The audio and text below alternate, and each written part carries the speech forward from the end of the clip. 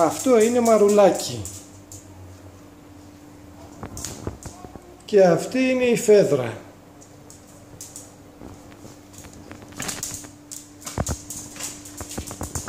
Το βούτυξε.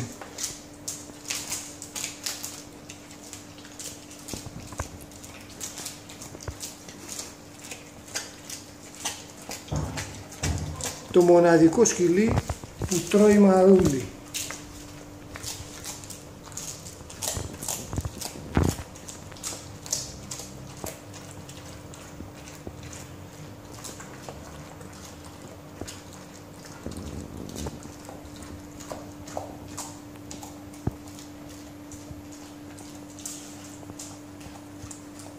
Καθαρίζει και το πάτωμα.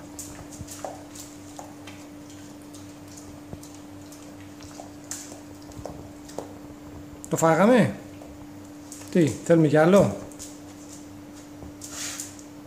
Δεν έχει άλλο.